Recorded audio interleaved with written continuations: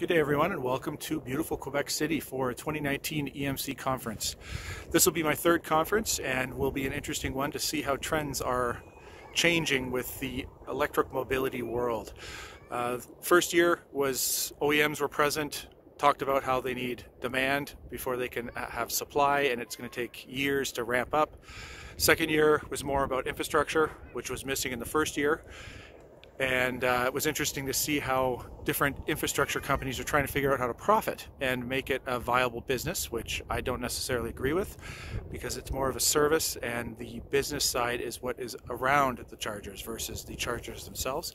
This year, I suspect it'll be along the lines again of infrastructure and growth and specifically supply and um, one of the other main pillars um, incentives.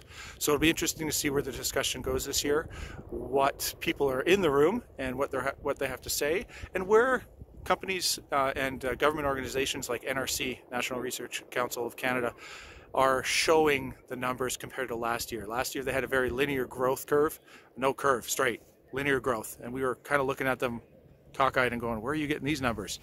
And uh, curious to see if they're seeing the exponential growth that we expect in the electric mobility field. Anyway, I'll update as I can. Otherwise, have a wonderful week and we will touch base again from Quebec City.